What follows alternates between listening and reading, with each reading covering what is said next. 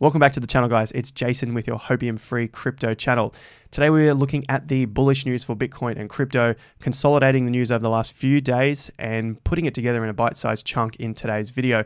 Then we'll move on to the charts to update us from the market conditions over the last 12 to 24 hours.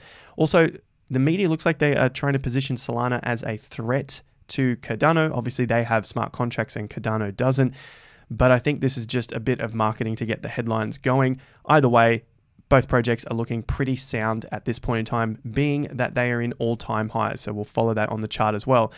But before we get started, potentially we have clocked over to 200,000 by the time you see this. Either way, thank you very much for subscribing to the channel if you haven't already. Make sure you do that and click all so that you can see these videos pop up in your feed. You can always unsubscribe later. But uh, if you do, then you'll be updated with the daily cryptocurrency updates.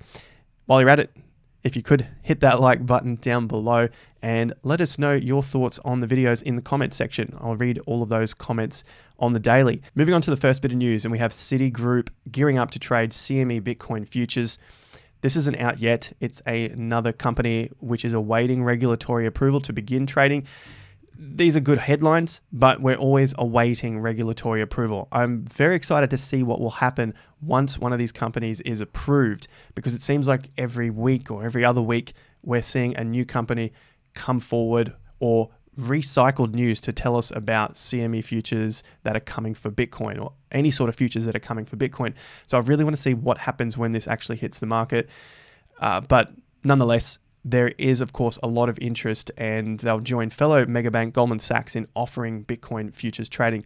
The point here is we would like to see it physically settled. So once the futures contract expires, it would be lovely to see it physically settled where Bitcoin is distributed because then that will put pressure on the market, whether it's buy or sell pressure. Michael Saylor has purchased nearly 4,000 Bitcoins for a total of 177 million in cash at an average price of 45 grand. So he wasn't buying it at the $30,000 low, average price of 45 grand. Of course, he is buying 177 million. So to be able to get that all in one hit, maybe Bitcoin isn't just ready for that at this point, but he now hodls 109,000 for a round number.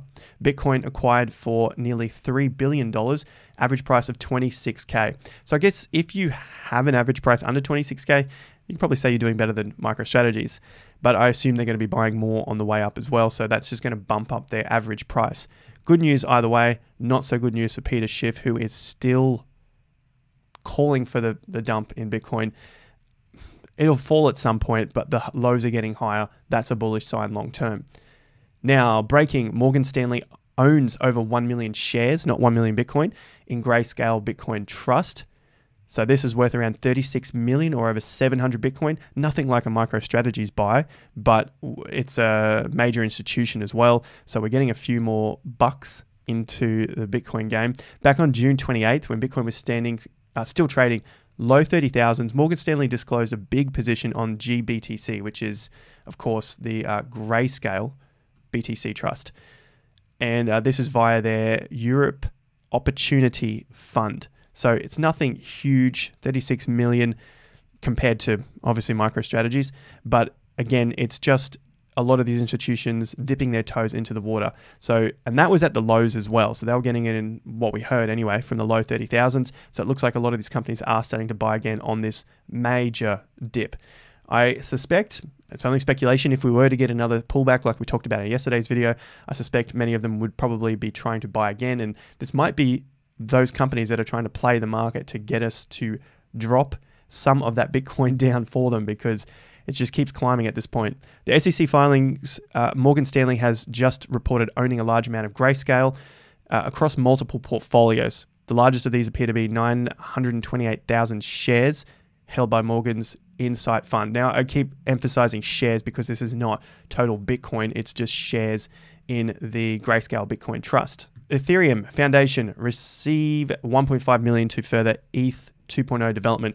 I like this because there's a lot of the major crypto companies that are getting on board to support the upgrade in a decentralized environment. This is pretty cool stuff for a uh, for a crypto project to have the support of its peers. So you've got Kraken, Compound, Lido or Lido, I don't know which way it's pronounced, Synthetix, the Graph, and Uniswap. So all donating about 250k each to support the open source development of uh, ETH 2.0. I'm very excited for ETH 2.0 and I will probably be doing a video on ETH 2.0 staking through Ledger. Let me know in the comments if you guys have already done that or if you'd like to know more about that. Currently the percentage is around 6% on your ETH in a almost pretty much decentralized environment rather than giving your ETH to uh, centralized finance company. So let me know in the comments if you'd like to see more on that. Institutions pouring money into Solana and Cardano, so they're starting to bring these two together. Cardano has a lot of good marketing out there quite naturally in the community, and now Solana is, well, at least the, the media headlines are starting to tag that onto Cardano as well. I might even have that in the title. So you'll see that this will be coming out. I like to just share that with people so they sort of know what's going on in terms of how these projects are coming together to get some marketing out as well, to get some more eyeballs in the space. You know, Solana is something that we're interested here on the channel. So this is pretty exciting to see as well. There's more money pouring into Solana and it was more than Cardano. Solana recorded more institutional capital inflows than any other crypto asset last week. So institutions bringing money into Solana, even though they already have a, well, I mean, two different things here, but they've got a lot of VC money as well. Inflows of 6.4 million for ADA, for Cardano, and then Litecoin 1.8 and Polkadot 1.1. Cardano, Red Hot, saw only slightly less institutional inflows than Solana. I suspect that's because Solana is actually working at the moment, whereas ADA isn't. But they're having just slightly less for a non working product. That says quite a lot. We could speculate on that, of course. Across to more Solana news, Solana developers can now use Chainlink's DeFi price feeds. What is this? The fastest growing sector of decentralized finance is getting another boost as Chainlink's price oracles today went live on Solana. So they help platforms to receive reference data, such as prices of various cryptos and tokens in real time. So we're starting to get all these connections coming into Solana. And that's why I've got something around the, the biggest threat to ADA is other projects which are getting uh, momentum in the community, getting momentum in funding, getting connections that are actually working and then proceeding to I guess, expand the ecosystem. I'm not trying to have a go at Cardano or anything like that, of course. This is why we hold multiple assets in our portfolio. And Solana has a smaller, uh, smaller market cap than ADA. Uh, so if we look at where we currently sit with ADA is 88 billion, Solana's at 20 billion. So four and a half times smaller uh, is where Solana sits. So this could be pretty big news for another project, another smart contract to leapfrog into that top five and give us those bigger gains. I think they're all going to do pretty well, but got to keep our eyes out there in case there is something else that is brewing. And this isn't anything new. This is a tweet that I've been referencing many times on the channel. Really, really good read. Uh, I will repost this on my Twitter if you guys want to have a read of it. But essentially, this is back from April and earlier. Of course, he's been doing his research on Solana to show where he thinks it could position in the future within the cryptocurrency project. So it could be a top three to five project, which would, of course, push it up into that third position. Again, it's speculation, but the information on this is pretty interesting. So if you want, follow my Twitter and Instagram. Uh, I'll repost this as well so you can find it. Really, really good read if you want to have some further information on Solana. ADA launching in Japan in 10 minutes. I've specifically looked at this time. This is dead on 26 hours ago for me as I filmed this video. I, I was reading a lot of comments from you guys uh, about uh, ADA launching in Japan. I want to see how that goes on the on the pricing, etc. And as we can see from this point, just as a reminder to ourselves around news announcements like this, whether they do affect the price or they don't, and it comes. Eh, what happens is it, it'll depend on the time in the cycle for that crypto. Short term, long term, uh, down to you know minutes, hours, days, weeks. That's what it's going to depend on. So ADA launching in Japan in 10 minutes. Waited a very long time for this day. Everyone's super excited. 19,000 likes and thousands of retweets. Price we can see in a moment hasn't really done anything from that point, which is fair enough. Maybe we were leading up into this and then the, the tweet came out. Okay, on to FTX news. So FTX set to pay 17 and a half million, I nearly said billion, in crypto for exclusive naming rights. If FTX has done this really, really well over the last 12, maybe longer months, and they are just getting their name out into a lot of spaces. This time, It is part of the $17.5 million deal. Uh, Learfield will accept the full payment in cryptocurrency on behalf of the university. Through this historic 10 year agreement, FTX, 10 years, you're going to be calling this thing FTX Field. FTX receives, receives uh, naming rights to the field at California Memorial Stadium, which will be known as FTX Field at California Memorial Stadium.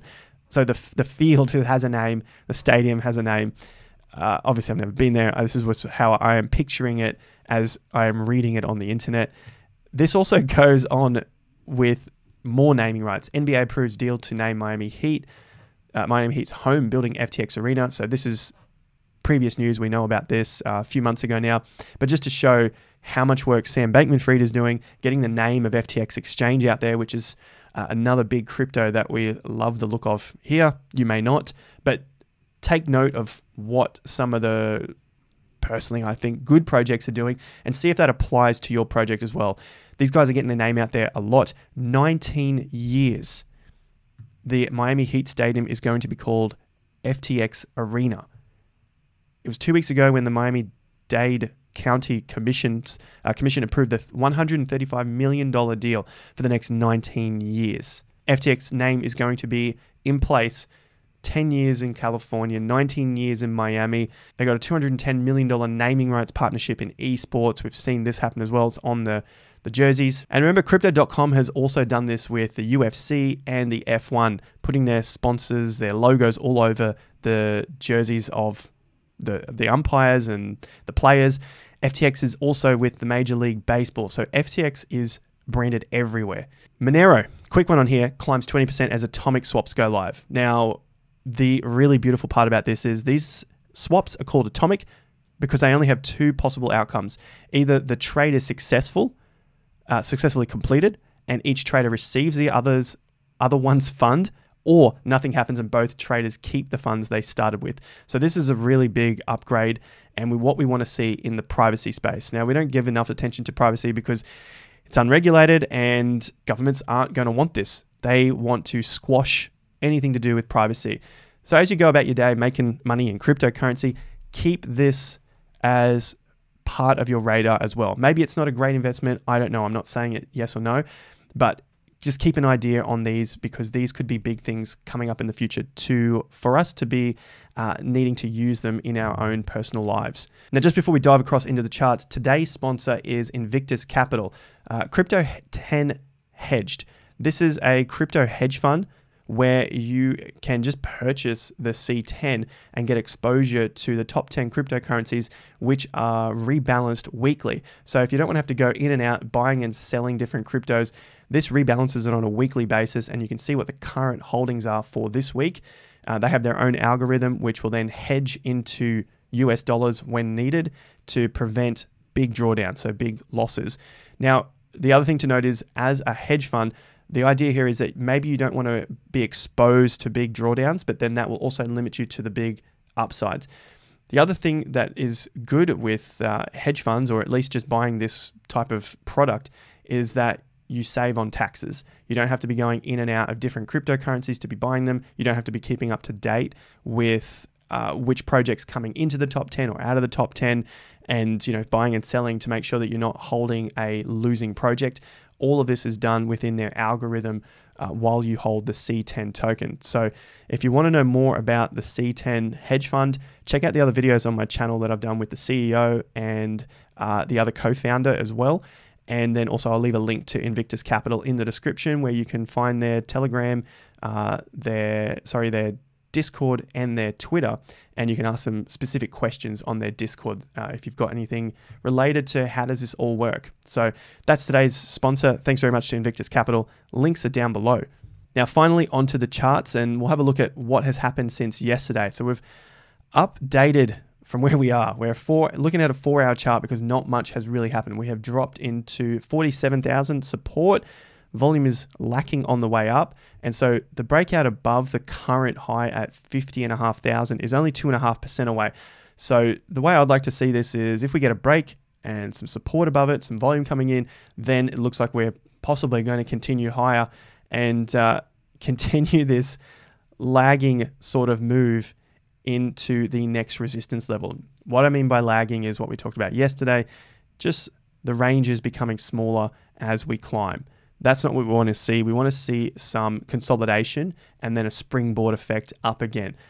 Note, notice how we did that many, many times before. We have a little bit of a springboard here and then we move. We have a, a springboard here and we move. Then we started to flatline and we didn't get much happening. We looked at this pattern being very similar to what we're currently experiencing at the moment, but just on a smaller scale. So Bitcoin, not much has happened there. I'm still looking at those prices of a break of 50 and a half to get us into that more bullish sense, but uh, potentially seeing that correction uh, if we break down from these levels uh, at 44k, then I'm looking at around that 42k, which has had those highs come in earlier. So again, I'll update this tomorrow. Not much has happened over the last 24 hours. ADA, same sort of deal. We had Japan, uh, ADA launching in Japan. Markets actually come down and stayed stable at around $2.70, which is a good sign. And remember, the consolidation above the highs is what we want to see for a bullish continuation. Currently, that's what we're seeing. An inside day, not much to be said here, which is not bad news either. All right, that's what we want to see. Good volume, holding these levels and then continuing the journey after it's had enough time to consolidate. Solana, same sort of deal. We are seeing a little correction here as well. Good bounce from $66. Should we have a move up and another move down? Again, the same sort of thing. Remember, this is the high here at around 55 to 60 bucks. Let's get a consolidation there. Or where we currently are, that's fine. As long as we get some time to rest, rebuild, refuel before we take off to our, our uh, moon, our Sol moon, our sun moon. Moving on to FTX. Now, similar sort of thing, but we're not at all time highs. You can see ADA and Sol are all time highs, but FTX currently sitting beneath its all time high, but we're in a bit of a wedge pattern here. That's not a bad thing, provided we don't break down from these lows at around $44, $43 and continue to hold above our stronger position of 50%. So that's at $48 here. We are seeing little bounces below it and then bounces above, and eventually this is going to have to come to a conclusion, fake out and up, fake out and down, maybe just continuing steady climb up. But again, that price, the highs 54 bucks, 54 and a half is going to be the level that I want to see broken and broken decisively, whether we get a pullback support or we just take off. Either way, I'm using this as a time to uh, dollar cost average in, and should we get a breakdown, I will be selling the house to be getting into FTX after all of the fundamentals that I really like about this project and the uh, the the CEO himself as well, Sam Bankman-Fried. That's it for today's video, guys. I hope you found some value from it. I know it's a long one, but we had a lot of news to cover. In future videos, I'll break it down a little more. So uh, let me know in the comments down below. Shorter videos, longer videos. Uh, love to hear from you regardless and how you are doing with your crypto investments and trades. I hope you have a great day. I sure am. And I'll see you at the next video. Until then, have more fun to get more done.